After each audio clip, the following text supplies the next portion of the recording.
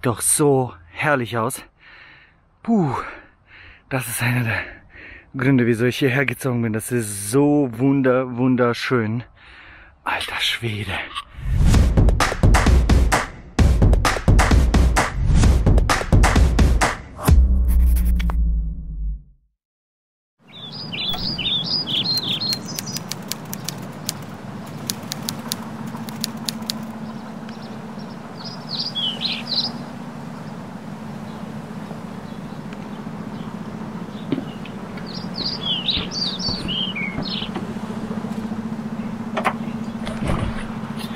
Willkommen im Süden.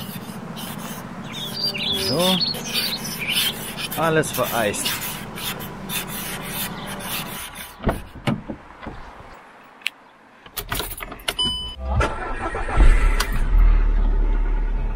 Hi und herzlich willkommen aus dem Ländle in der Nähe vom Bodensee.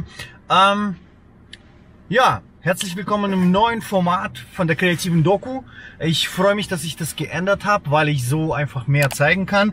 Ähm, auf jeden Fall geht es für mich jetzt gerade nach Esslingen in der Nähe von Stuttgart, weil wir für Triple B heute äh, wieder Shooting machen und wieder die geilen, leckeren Burger fotografieren. Ich hoffe, ihr habt viel Hunger mitgebracht und ähm, auf geht's, ne?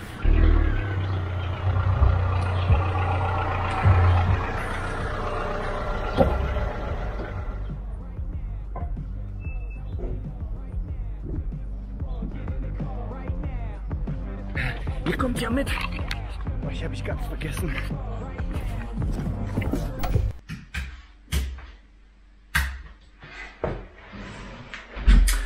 Hallo Freunde der Sonne. Ähm, willkommen hier im noch nicht fertig gebauten Office von Kreativ und Frei. Es heilt noch ordentlich.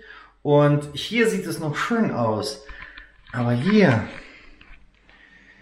hier ist noch der totale Chaos. Hier sind noch Bücher, Sachen und so weiter und so fort. Hier ist noch Werkzeug und weiteres.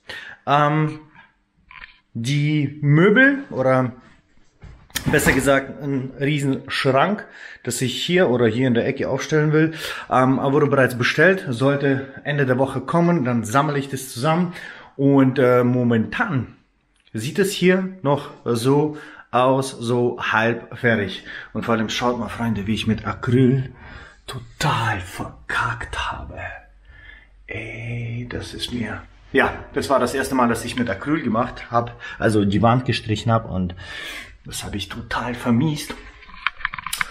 Kann man aber nichts machen. Man lernt daraus, da hier wird ein Regal sein und das wird wahrscheinlich keinem äh, so richtig auffallen. Und da heute der 17. März ist, mein Geburtstag, ich bin 33 geworden und ähm, deswegen arbeite ich gerade an einem äh, hier, äh, Artikel für Instagram. 33 Dinge, die ich mit 33 gelernt habe. Und ich möchte euch 10 wichtigsten vorlesen, damit ich euch nicht mit allen 33 hier langweile.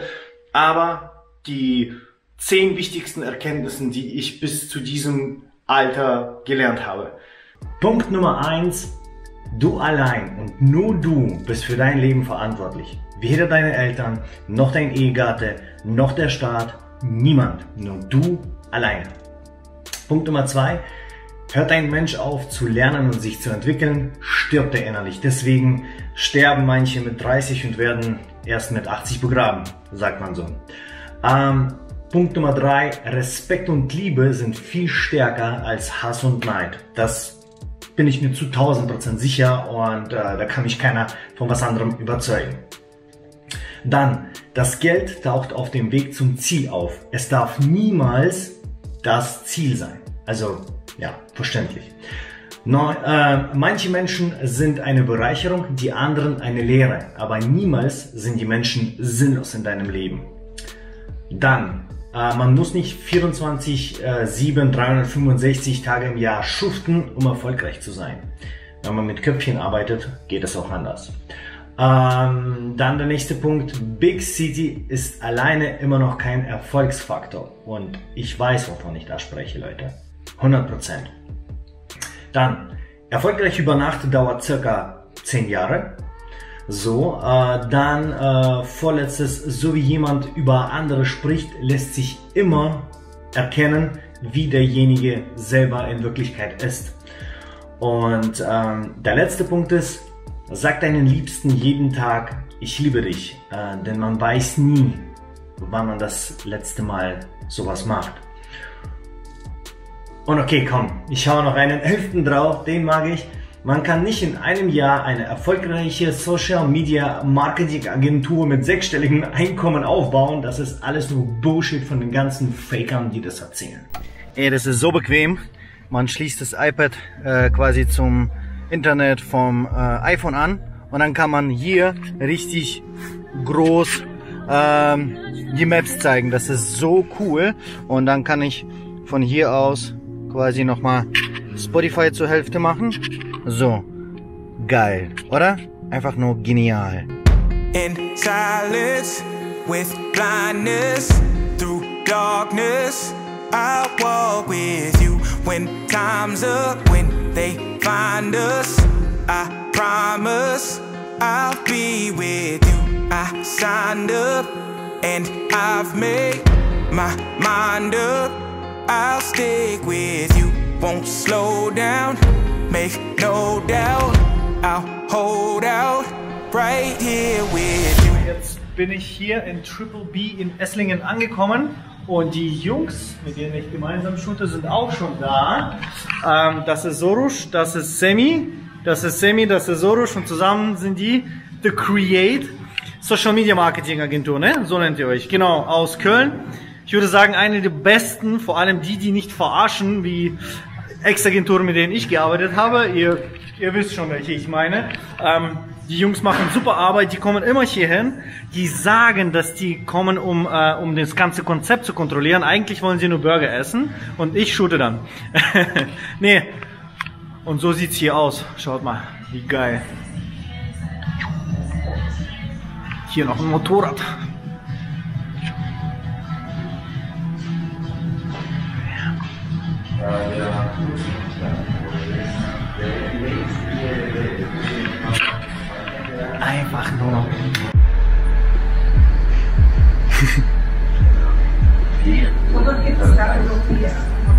Hier wird nichts gefaked. Hier sind die echten Burger. Keine Plastikburger wie bei manchen.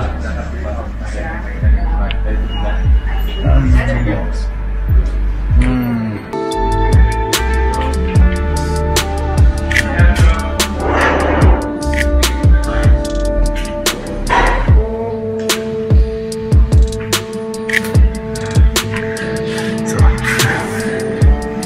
Wir haben einen totalen Internetausfall hier in der Gegend. Ich habe äh, bei Vodafone oder halt Ex-Unity Media angerufen und wir haben absolut kein Internet. Die Störung ist wohl bekannt, aber ähm, der Techniker ist auch unterwegs, aber es passiert nichts. Meine Frau kann im Homeoffice nicht arbeiten. Ich äh, war gerade an meiner Webseite dran und kann an der auch nicht arbeiten. Was macht man denn in so einer Situation?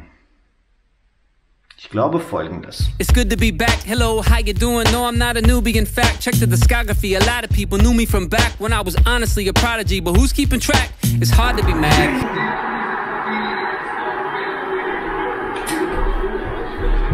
Was macht ihr, wenn bei euch Internet ausfällt und man die ganzen Pläne nicht umkrempeln möchte und komplett andere Aufgaben machen möchte, sondern warten muss? Oder wie macht ihr das? Sagt ihr, okay, scheiß drauf, ich krempel die Pläne um jetzt oder wartet ihr erstmal? Schreibt mir gerne in den Kommentaren dazu.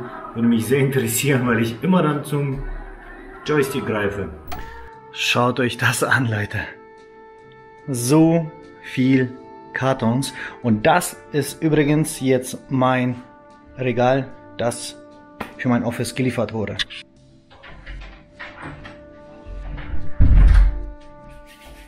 So, und wie ihr hier sehen könnt, ist hier noch Chaos pur und das muss ich alles erstmal aus dem Zimmer schaffen, dann äh, mein Regal quasi reinbringen, aufbauen, dann bringe ich diesen ganzen Mist hier wieder zurück und platziere im Regal. Also viel Arbeit, aber pff, was soll's. Was macht man nicht für ein super Office, oder? Also ich hoffe, ich fühle mich nachher hier wohl, also so richtig wohl, wie bis jetzt noch nie. Ich habe in den letzten Jahren mein Homeoffice sehr oft optimiert und äh, angepasst und verändert und für mich quasi neu erfunden jedes Mal. Und ähm, ich glaube, diesmal wird es fast schon perfekt für mich, für jetzige Zeit, für meine jetzige Einstellung, für die YouTube-Videos, die ich plane. Und von daher, ich freue mich gewaltig, ehrlich gesagt, weil, ja, weil es einfach nur alles fresh ist. Fresh, fresh, exciting, fresh, fresh, exciting.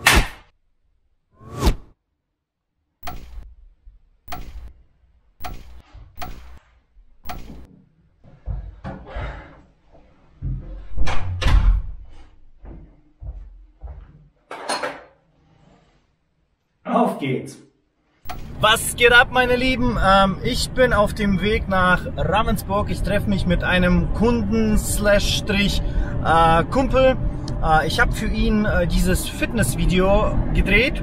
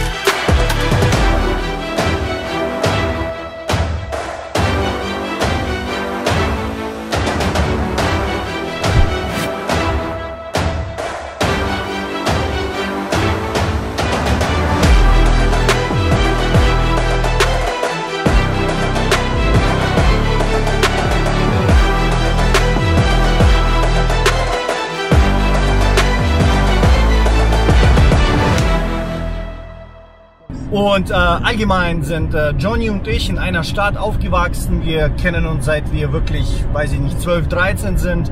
Ähm, wir hatten immer wieder Kontakt und mittlerweile hat sich das so zu einer offiziellen Mastermind-Gruppe entwickelt. Äh, wir telefonieren immer wieder miteinander. Äh, wenn einem dreckig geht, wenn es Probleme gibt, ruft man sich an, weil Johnny ist auch selbstständig, der ist äh, Fitnesscoach und ähm, ja, da da hilft es uns, äh, sich einfach gegenseitig auszutauschen, weil, ja, wie ihr vielleicht kennt, in der Verwandtschaft gibt es nicht viele Selbstständigen und man kann nicht mit jedem quatschen.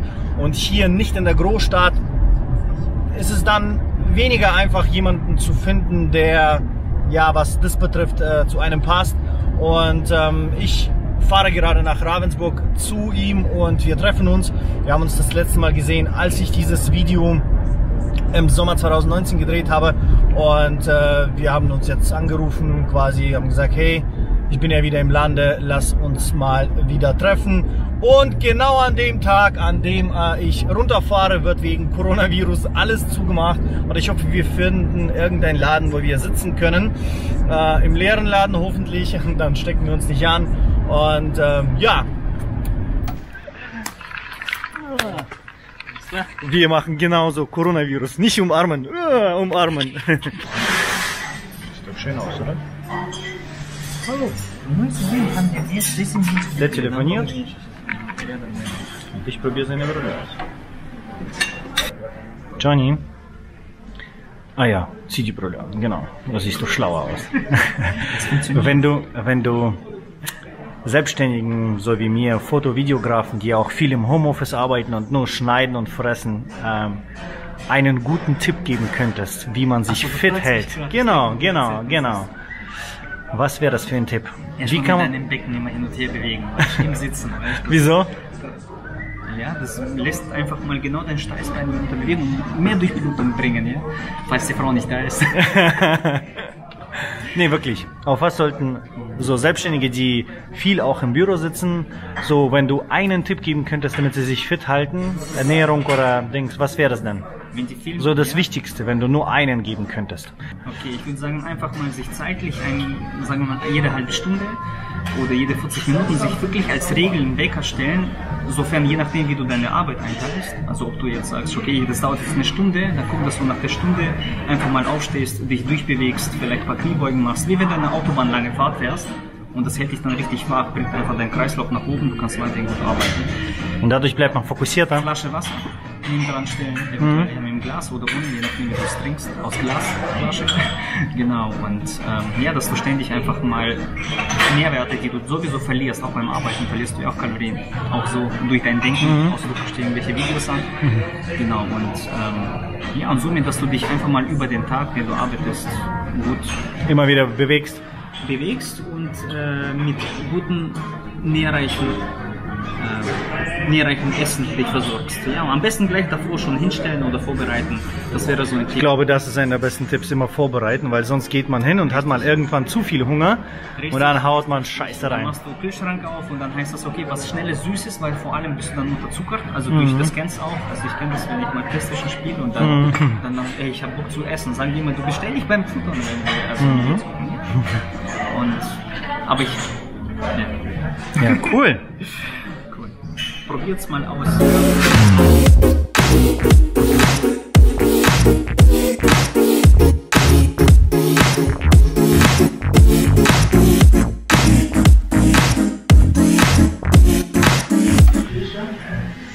Oder sag ich, sag was dann Okay, warte, da ist die Linie. Genau. Ich gucke mal auf das, auf das Holz legen. Ne? Genau, So ist Holz und die Linie. Noch ein bisschen tiefer sammeln. Okay, okay, so ist perfekt. So ist optimal. Auch gerade? Ja, gerade ist auch klar. Ja.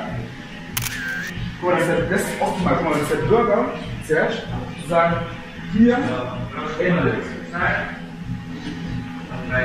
Ja, genau. Ja, und ist er gerade? Ja, das können wir dann Achso, nachher okay. Bildnummer? anbiegen, das ist nicht. Äh, Bildnummer 5, 2, äh, 275.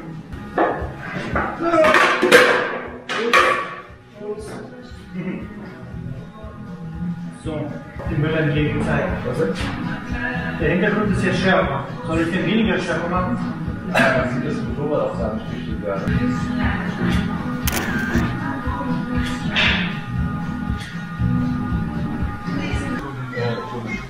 Boah, schau mal, wie der aussieht. Mit Chili, mit allem. Dann sieht's halt so. Wenn man so einen farbigen Hintergrund hat, mit Lichtern, mit allem, hier, kann man ganz easy, kann man dann den Burger hinstellen. Und der sieht dann so aus. Pervers. Einfach da drauf, Man couldn't work on time every day and he grind for the raise. Boss say he got a got a wife he don't even really like and a house that's way overpriced, but he still got a wound up tight. Now he started thinking that his life ain't right. He just need a little cause he on the edge right now, wrong side of the bed right now. Give me that.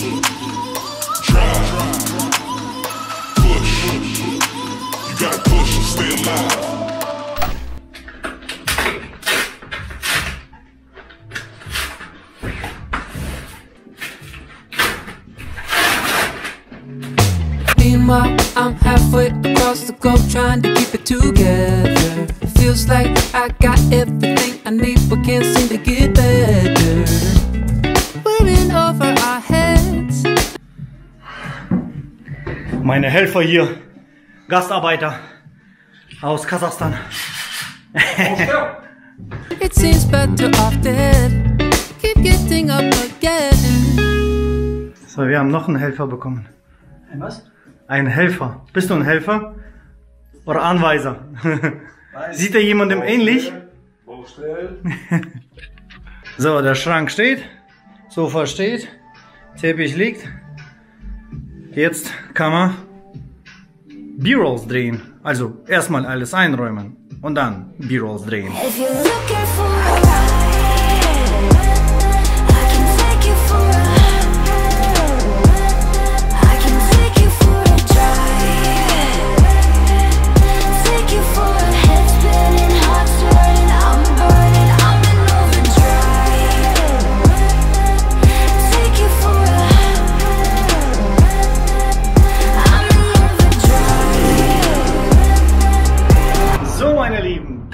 Jetzt mein neues Homeoffice. Das ist die fünfte, fünfte Version von meinem Homeoffice. Und ich glaube, mittlerweile ist es beinahe perfekt für mich.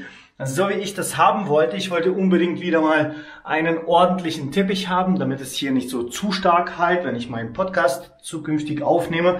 Und ich dachte, ich zeige euch nochmal, was ich wie wohin platziert habe, was sich in diesem Schrank befindet und so ein bisschen eine kleine billige Tour äh, von meinem Homeoffice.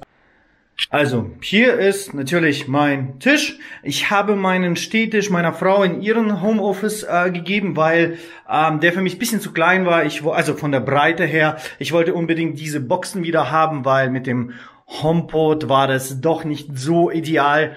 Das Ding hat einfach äh, auf einer Seite gespielt und ich wollte den Sound um mich herum haben. Plus ähm, beim Schneiden, ähm, zum Beispiel in, in Final Cut oder Adobe Premiere, ähm, gab es einen klitzekleinen Leck und also weil das ja nicht über den Kabel übertragen wird und das hat genervt, ich konnte das nicht nutzen. Klar, mit dem iMac hatte ich den Sound, aber ich musste immer wieder switchen und das mag ich nicht. Jetzt habe ich ähm, das hier einfach hinten angeschlossen und ready. Ich habe meine ähm, Stripes wieder zurückgebracht. Ich habe mein äh, Kugellicht hier oben platziert. Hier ist mein Mic. Hier ist äh, mein Gimbal, das da steht. Hier sind natürlich Bücher, mein Cappy.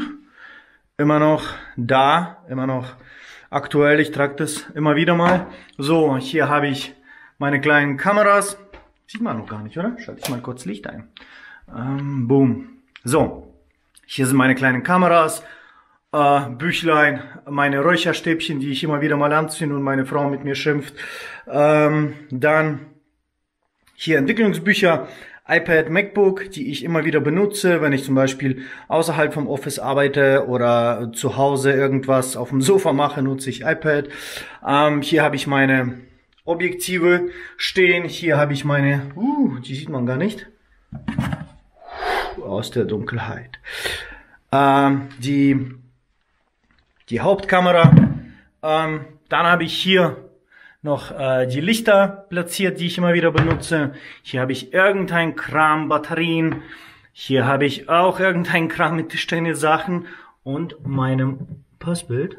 Ähm, dann habe ich hier meine Dokumente. Äh, das heißt, hier sind die Dokumente, hier sind alle Rechnungen, hier sind Rechnungen, die äh, noch nicht verbucht wurden. Die schmeiße ich da rein und dann verbuche ich das, sobald ich Umsatzsteuererklärung machen muss.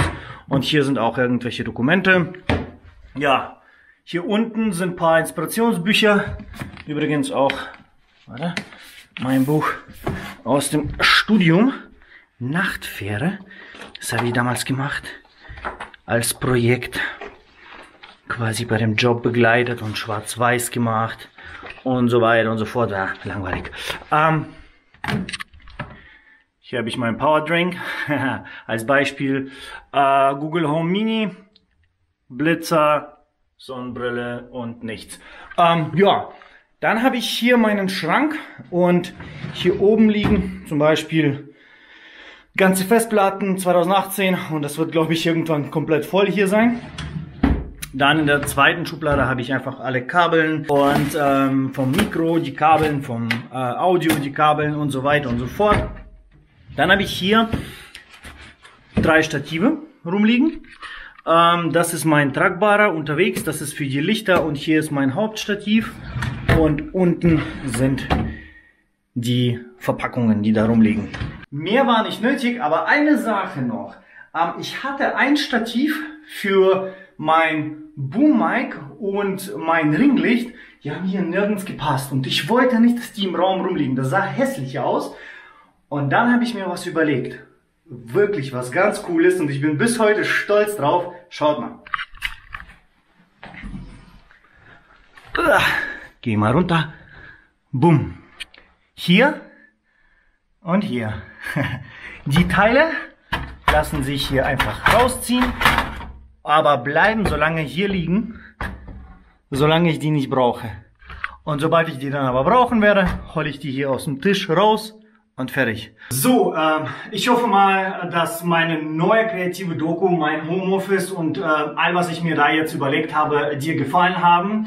Ähm, den Grund kennst du ja bereits. So kann ich viel mehr filmen, viel mehr erzählen und nicht nur auf einen bestimmten Tag warten, an dem ich wirklich einiges zu zeigen habe. Und ähm, von daher, ähm, ich fühle mich sehr geehrt, dass du bis dahin jetzt geschaut hast, bis zu diesem Zeitpunkt.